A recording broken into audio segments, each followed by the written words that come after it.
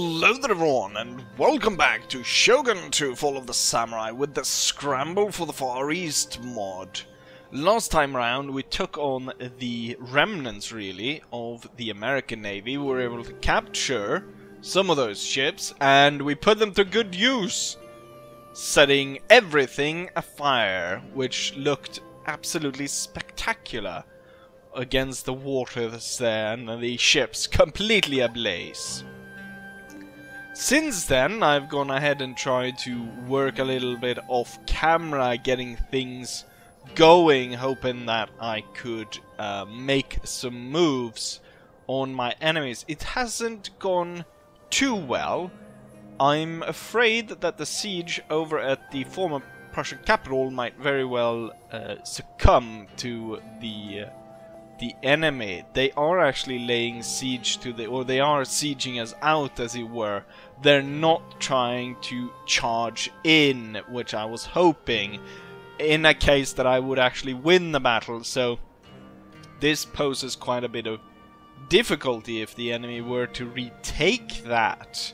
Um, that we, especially now when we don't have that strong force in the north, However, with the ports, with the port opening up in the north, or in my capital, and me gaining access to these wonderful American ships, I'm pretty sure I could dare sail a um, the elite army across to aid us here in the north. But it would still take probably like half a year to get them here, or at least a season. Uh, if I sailed right away right now, which is probably not the case. Anyways, with all that side things, what are we looking at here? You, just an ambush. So, I had my general, which was raised from the ranks after that wonderful siege he took part of. Um, he was moving forward, trying to ambush the force that moved in here. But they moved too many Prussians in in the area and decided, you know what? Probably best to retire. As we were moving back, I was moving back and forth through the woods here, trying to still stay hidden and in kind of an ambush location. The ambush has actually worked, and a enemy Prussian force has moved into it. Still very dangerous though. Quite a few of these Hanoverian guards and so on. And it's not entirely in our favor. We do outnumber them, but just by about 400 men. So it's definitely going to be a difficult battle still. But we have the advantage of being able to set up all around them. Which uh, should work out pretty well. But fingers crossed that we are victorious.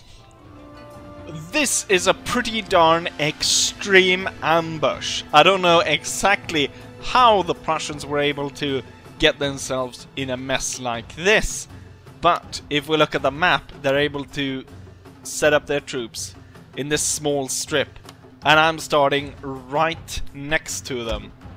I mean, the area they're able to spawn within is even smaller than the uh, effective range of the muskets. I've set up my cannons here, ready to fire down through here, and then we've got on one side, we've got uh, our uh, more of the Vladimir Alexandrovich infantry, which I believe has better stats in shooting, while the shit infantry, as I call them, is over on this side. So the my idea is that these guys are going to charge in, lock the Prussians in combat, while this side will be uh, has set to kneel fire or fire through cannons just to add a little bit extra power through right here. General, light infantry, and the Cossacks. Um, with that. I think I'm gonna set these guys to melee already. Could, you know, I'm gonna set, have them on fire at will just to start, so we get volleys from both sides. With that, let's go ahead and start. Prepare to okay, attack, so sir. the uh, enemy is down there.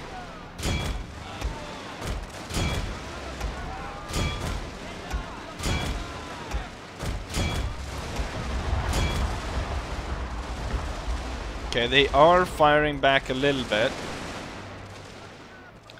But definitely not a lot. I'm gonna get my general down through here. Seems as though these guys are not firing, so I'll order them to join in the melee. And then this one's not really being able to fire as much. So we're gonna join in the melee over here. This one's actually losing to melee. Well then again he charged grenadiers.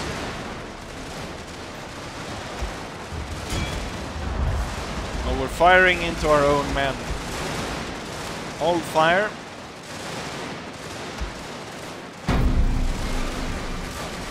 Doesn't seem to be working that great. I'm gonna get the cavalry in here.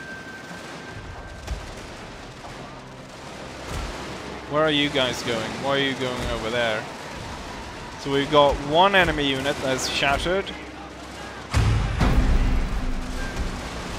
I need them to hit the strong points here where we've got a lot of enemy infantry. My Cossacks are coming in. Need to keep the pressure up on these guys. So they're all, they're definitely holding on down here. But I am bringing more and more of these guys down. And for now, the guys on the side are holding still. Oh, and this unit kind of had turned around. So it's actually holding now. Here comes the Cossacks. Going in on the side. Oh, and the enemy was broken. We have one unit broken over there. More and more of my men are coming down, attacking the Prussian force. Even with the fact that we ambushed the enemy, we are losing a lot of men.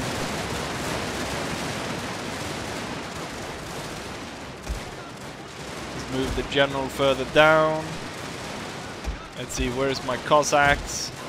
Let's hit the uh, guards over there, see if we can break the unit them. is running from the battlefield, sir. Well, that's not great. There's a few units of Prussians still holding on over here. We can inspire the cavalry. It's those Hanoverian Guard units that are holding on. I also don't like the fact that we're kind of stuck here um, in the way we have. I need to hit these guys.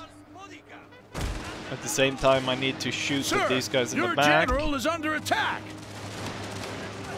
Come on, guys, you need to break through. We need to hit those last Hanoverian guards. Also, there's tons of Prussians now getting away.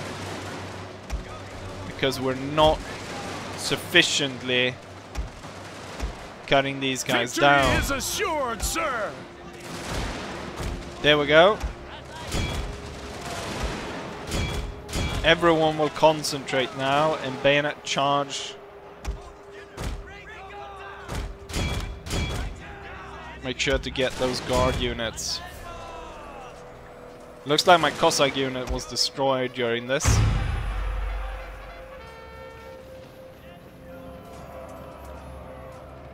Damn those uh, Prussian guard units.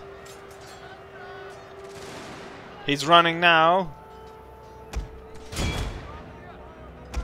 That means we have won. But it's not as stunning as stunning victory as one might have hoped. And there's still tons of Prussians in this area. But it was definitely a victory, and I'm hoping that um, we indeed inflicted more damage on the enemy than they did on us. It would seem so, because, uh, The men tire, sir. well, they, They are leaving the rest. field. Very bloody field here. His result of that battle, I deployed 3,700 men, where which we lost 1,700, leaving 1,900 men left. The Prussians deployed 3,300, wherein which 2,500 were killed, leaving about 800 of them left. Uh, highest killers goes to infantry and some Alexandrovich infantry. Don Cossacks end up here. Seven men remaining, and the unit is uh, actually intact after that. So, no unit died, but we did take quite a bit of casualties um, compared to what I'd hoped to achieve here. But then again, a lot of Prussian Guard units, and those guys are deadly. We managed to get a statue for that battle. The uh, ambush battle of Fukushima in 1868. Very nice battle. Since then, I decided to move up onto the hill uh, to avoid the rest of the Prussians, which came in ri rather soon afterwards. But for some reason decided to hide in the woods rather than attack and destroy us. Seemingly, they don't want to attack. There's one turn until surrender. Uh, we're going to lose it unless... Unless the Prussians might be persuaded to have a temporary truce. This deal is satisfactory. Can I exchange host? They have no children available. Um, I'm not sure. Well, the reason why I would want to take children is because that would ensure that they wouldn't attack immediately after. Unless, of course, they want to kill off the children. Can I can I demand money off them? You think I can demand 10,000? Okay, they won't go for that. I imagine they have lots more. How about 5,000? No. Okay, how about 2,000? No. Okay. How about just temporary peace then? You're this close. You're th this close to recapturing indifferent neutral. What? They're not that unhappy with us for some reason. They're, they were that close. It, so close from taking it. And they just... They're probably going to declare war directly, but again. But this saved the capital for now, which is great. We're gonna assume that war is coming pretty soon anyway, so I'm gonna march this army up to the border here so I can push through to Miyagi pretty soon. Um, here we'll try to uh, make sure that we can move in on the Americans. I'm kind of moving troops around. It's gonna take a while to organize this in a, in a good way.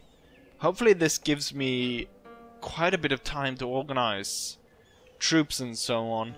I have recruited extra cavalry here. Uh, could be sent through the rail line up through the north. I'm also, since we need to um, add a lot of troops to the north, I'm recruiting extra troops here which have uh, easy access to the rails and I can move them here if necessary. Uh, but the most important part is not to do with the Prussian truce, but to do with the navy over here. We're starting to repair all the ships, and soon I will be able to depart with this army. I kind of halted the recruitment of a lot of troops here, but um, seeing as though the port has opened up again, we should definitely start up with recruiting troops there. And also now when my ports are at full function, this one got attacked though. I've kind of interesting here the Dutch came in to kind of rescue my port. It's kind of interesting. Um, but soon my port will be running at full speed. I think we can afford some of this really heavy cavalry. Um, but there's no more moves to make. Let's go ahead and end turn and see if the Prussians are gonna hold on to this. Um, I want torpedoes. Uh, see if they're gonna, you know, agree to this for any more than just one turn. I'm pretty sure they're gonna attack us again, but seeing as though they were, you know, neutral, indifferent neutral, only six minus, I might be able to hold on to a lasting peace, or at least for quite a while with the Prussians. It wouldn't be fair to my Dutch allies, but it could be a pretty nice thing to hold on to this for a while. What if I started a trade agreement as well? Now we're trading, now we're friendly, 44 plus. It's pretty good. Uh, I'll promise to aid the Dutch with gold then. I'm gonna send them money. Just so they keep the Prussians at bay for a while. I do think the Prussians gonna attack us as soon as possible. Did I lose income from starting trade with the Prussians? Or is it that just I'm not able to... Ah, I would... 14,000 from Prussian trade. Currently it's blocked because the sea trade route is blocked. But if that opens up, I'll gain 14,000 from that. That would be pretty darn impressive. Let's go ahead and turn and see if I can't cash in on that. Although I do imagine that Prussians are going to declare war on us again. As it turns out, the Prussians do actually hold on to the peace. I'm still gonna prepare in case it breaks. Or I'm definitely gonna break it in 10 turns, I imagine. Uh, that would give me plenty of time to recruit enough troops to renew our attacks on the Prussians. However, the Prussian threat might be over. Their agents certainly hasn't gotten the memo. Uh, this guy definitely needs to get assassinated, so do all these. Um, I believe I had two assassins here. Where's the other one? Ah, he's in here. No, that's, um... This guy's for training. Didn't I have another assassin? Anyways, what I was talking about was these forces coming in. We have quite a lot of Americans now turning up, and we still have this American unit over here, although this one suffered a lot through the winter. Um, my general in the area has turned up, and now he's ready to defend this area. And once I'm able, I should be able to move out the artillery which I've placed as garrison here. Plus the very experienced infantry. That was a mistake putting so much experienced infantry in there. Uh, I have a lot of units that have lower experience. But we'll fix that around. Get the troops going. And also starting... Now I started with the um, heavy cavalry. Maybe I should have gone... Um, started building uh, the Vladimir or the Alexandrovich infantry instead get them ready. So what I'm going to do is I'm going to risk the faction leader. He's going to move with one of these armies. And we should actually move one of the um, dragoons over here. And one of these guys should move over to the faction leader. I'm gonna see about making two 20 stacks. And we're gonna transport them by ship over to the north of Japan. I'm sending this fleet right now, so I split the force up there, trying to deal with the Americans, which are attacking this port right now. I guess they decided they're not going to go for the main port anymore, seeing as though they lost quite um, a devastating loss up there with those mighty ships. I don't think those are particularly uh, cheap to recruit. We need to, um, this bulge right here needs to be removed. Uh, but first, of course, we need to deal with these. So there's still a lot to do, but the fact that we're able to hold on to this peace with the Prussians, and given that they're holding out, uh, or they didn't immediately declare war on me again, I think we might be able to hold it on for those extra nine turns that it is right now. Uh, hopefully this does not cause a huge amount of problem for the Dutch. I'm making 56,000 per turn. I could definitely spare some of that money to the Dutch. And as my navy clears off that American fleet up here, um, we could definitely see my fleets moving away from a defensive role around here to actually go on an offensive more around this area as we now only have to contend with the American fleet. Although the American fleet is tougher than the Prussian one, I think combined with the Dutch fleet and the two sh big ships I have, being a little bit cautious, but we could be able to clear this water of American ships. They still have a lot of coast, and I imagine they still have a lot of potential of recreating those ships they lost. But um, the American Navy is definitely not going to be the same uh, for quite a while. And we should be able to relieve the Dutch quite a bit uh, once I get my Navy to support them. With that said, I think we're going to end it right here. I think I'll do a lot of um, in between for uh, for this episode, as I usually do during the winter months. So we still have about two turns, only two turns left of winter. Hmm. We actually played through that.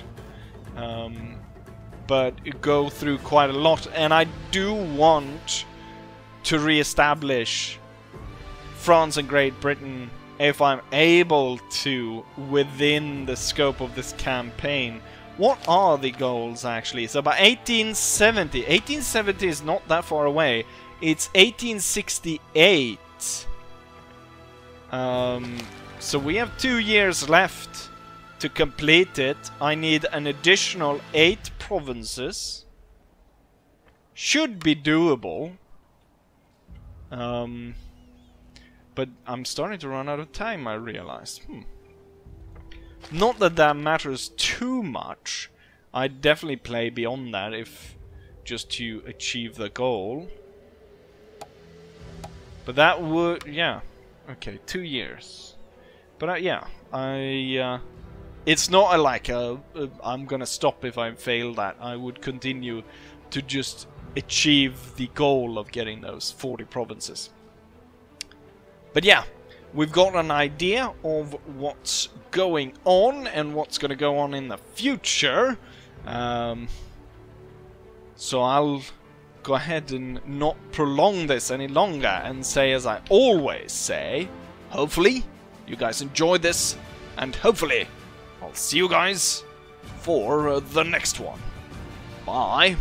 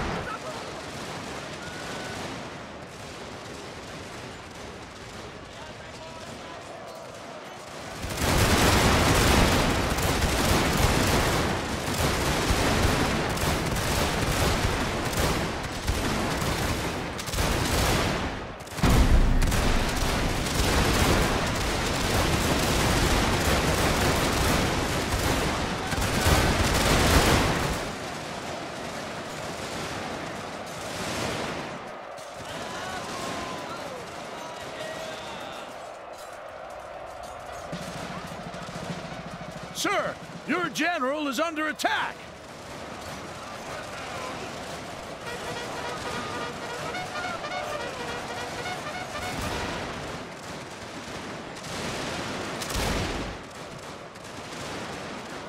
Your victory is close, sir!